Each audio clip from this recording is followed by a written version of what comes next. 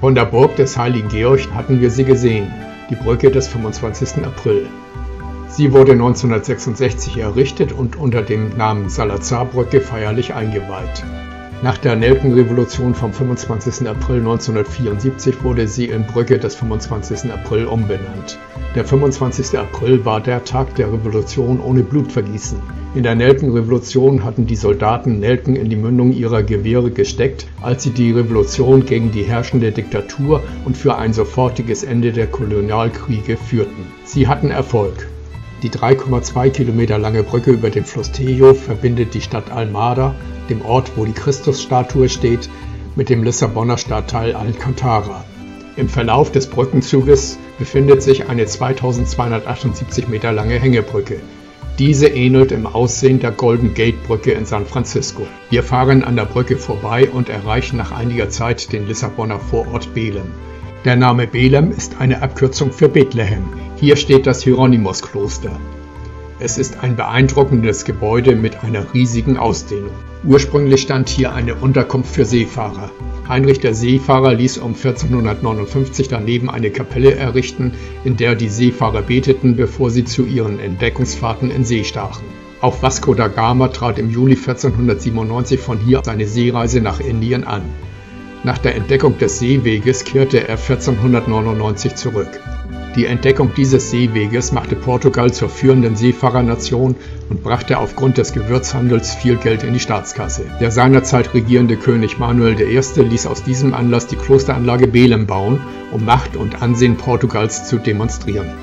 Wir blicken jetzt auf das Portal der Klosterkirche Santa Maria de Belem. Eine Fülle von Figuren zieren das Portal.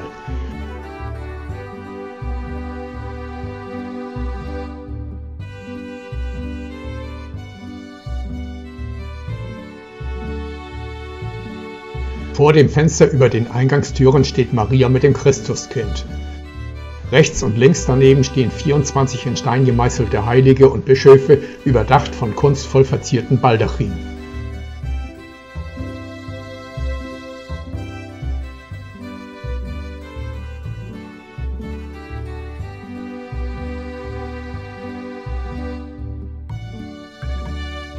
Links neben der Tür steht der Apostel Petrus mit dem Schlüssel des Himmels. Die Figur zwischen den Türen stellt Heinrich den Seefahrer dar. Wir betreten das Kloster über einen Nebeneingang. Gewidmet ist es dem heiligen Hieronymus, dem Schutzheiligen des Königs.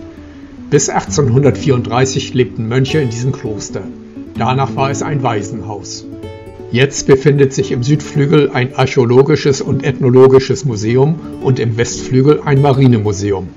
Das Kloster und die zugehörige Kirche sind ein Paradebeispiel für den manuelinischen Stil, den Baustil, den König Manuel I. bevorzugte. Dieser Stil ist geprägt vom dekorativen Schmuck, insbesondere an den Fenstern, Portalen und Pfeilern. Aus Stein gehauene Taue, Knoten, Pflanzen und Tiere zieren die Säulen, Decken und Wände.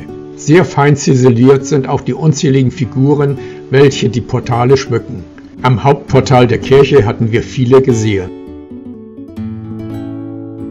Hier in der Kirche blicken wir jetzt auf die reich verzierten Säulen.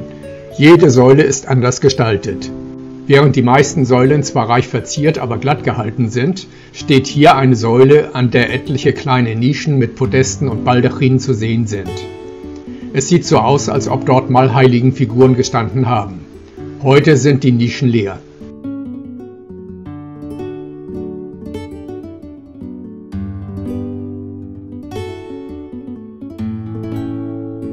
Die Säulen öffnen sich zur Decke hin wie eine Blume.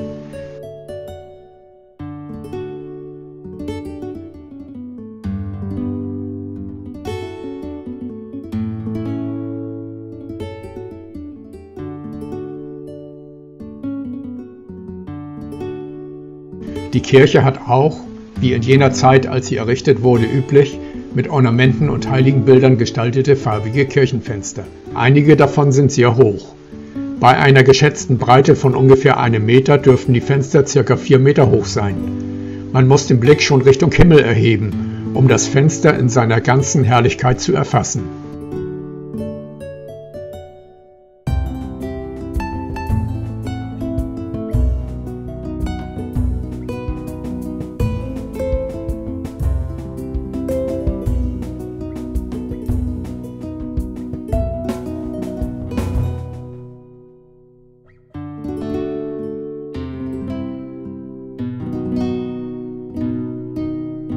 Hier in der Kirche stehen unter einer Empore die Sarkophage von berühmten portugiesischen Persönlichkeiten. Dort steht der Sarkophag von Vasco da Gama. Er ist sehr aufwendig gestaltet.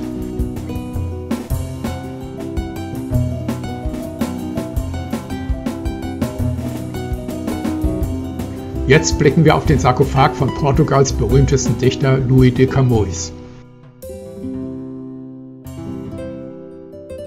In dem Kloster wurden auch viele Könige des Landes beigesetzt. Die Sarkophage von Mitgliedern des Königshauses aus der Linie Aves stehen beim Hochaltar und in der Nord- und Südkapelle.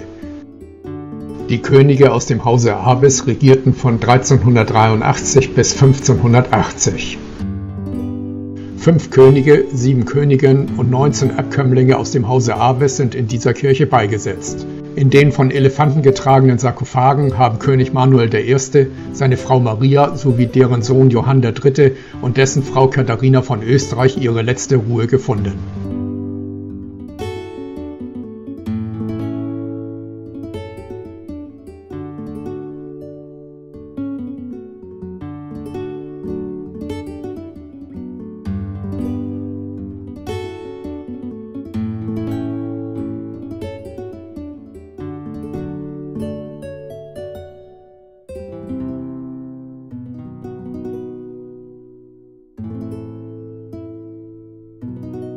Wir begeben uns jetzt zum berühmten Kreuzgang des Klosters und kommen am Speisesaal, dem Refektorium, mit seinen wunderschönen Kachelbildern aus dem 17. Jahrhundert vorbei.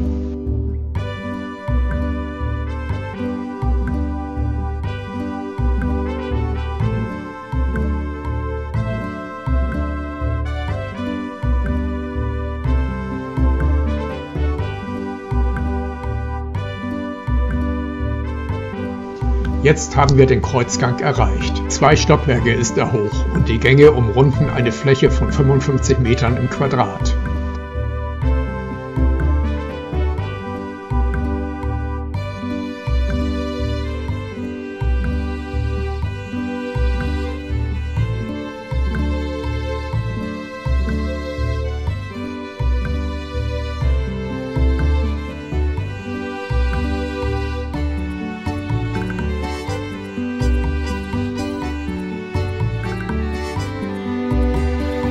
Es gibt hier kaum eine Fläche oder eine Säule, die nicht reichhaltig verziert ist.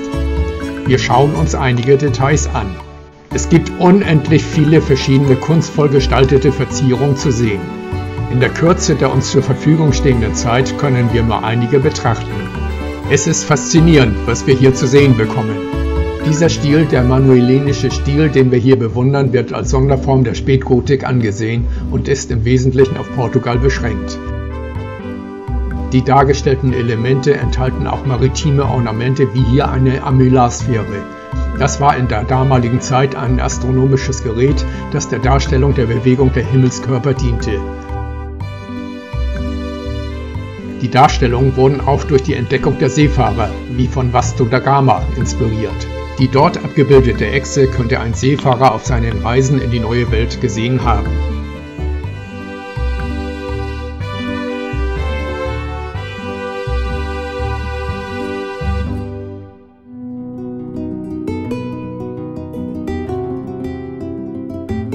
Wir verlassen jetzt das Kloster und schlendern durch den Park vor dem Kloster. Der Park ist nicht besonders auffällig gestaltet, aber in seiner Struktur sehr beruhigend.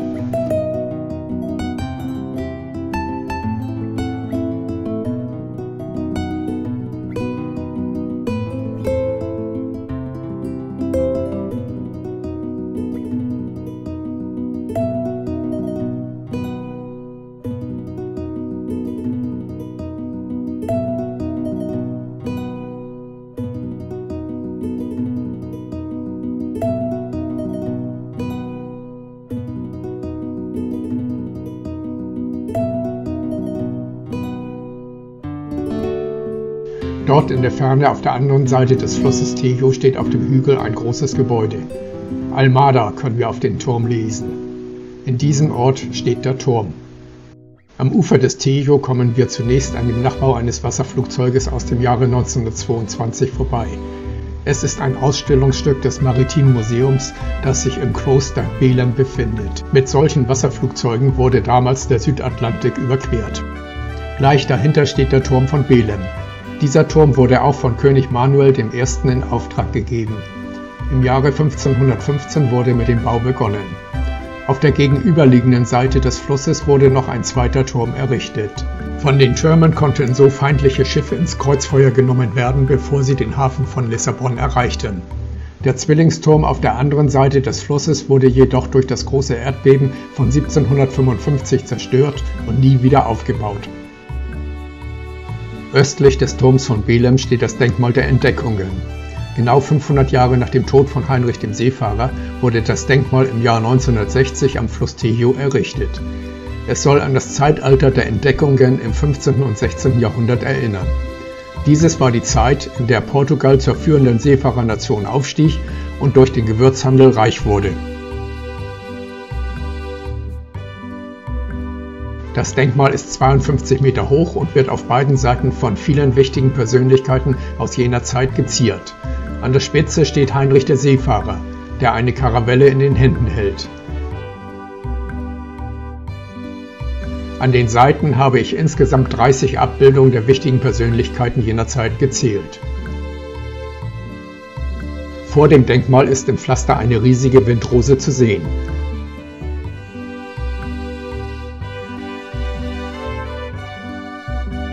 Im Zentrum des Windrosenmosaiks befindet sich eine Weltkarte. Auf ihr sind die Orte der portugiesischen Entdeckungen verzeichnet.